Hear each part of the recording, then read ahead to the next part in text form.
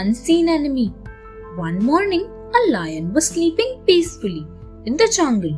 Suddenly, he felt a sting on his nose. As he was in a deep sleep, he ignored it. But this tiny bee didn't stop. It again stung the lion's nose. This time, the lion roared loudly and tried to crush the bee with his paws. But he could not do so. So he sat down quietly. But the stubborn bee dodged the big cat's claws and stung the lion again on his face.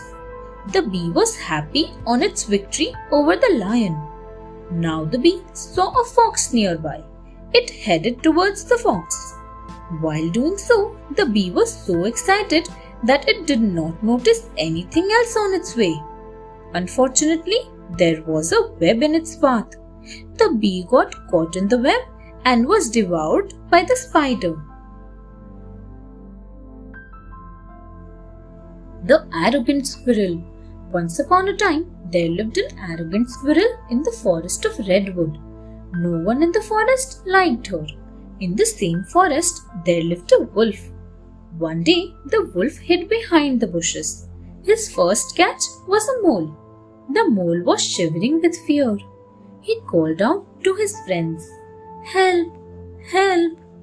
The mole was very kind and had many friends in the forest. Soon he was rescued by his friends and the wolf had to leave empty handed.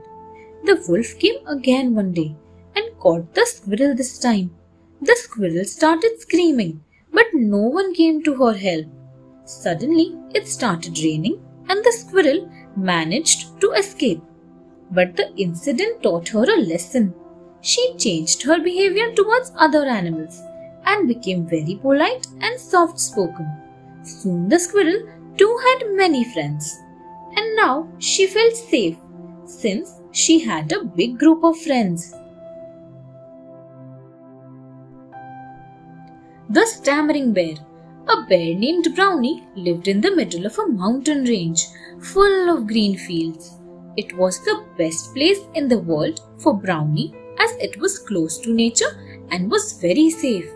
A group of dogs had discovered the secret place though. Brownie tried to scare them away by roaring and raising his arms.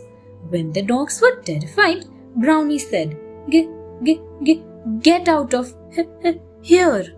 And all the dogs laughed at his stammering. After a few months, a group of animals came to the mountain range to build a big cave. Brownie did not want them to invade his secret place. So he practiced very hard to speak without stammering. He framed a long dialogue and kept repeating it without stammering. After a lot of effort, he could speak fluently. So he planned to scare them away.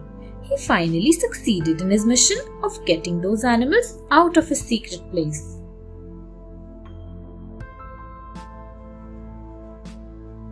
Bob the Cat once upon a time, there was a very mischievous tomcat named Bob. He never obeyed his mother. His mother always told him, Bob, do not ever go into the forest. One day, Bob climbed up to the window of his house. From there, he could see many big trees far away. He decided to go there. Once, when his mother was not around, Bob went deep into the forest towards those big trees. He climbed up a big tree. Suddenly, Bob heard a loud bark. His paws got caught in the branches of the tree and his heart started beating fast. He was so badly injured that he started meowing and calling out to his mother. His mother was also very worried and searching for him. She heard Bob's cry and found the place. Getting in quickly and carefully, she untangled Bob. He cried holding on to his mother tightly and promised that he would never disobey her or go to the forest again. Thanks for watching.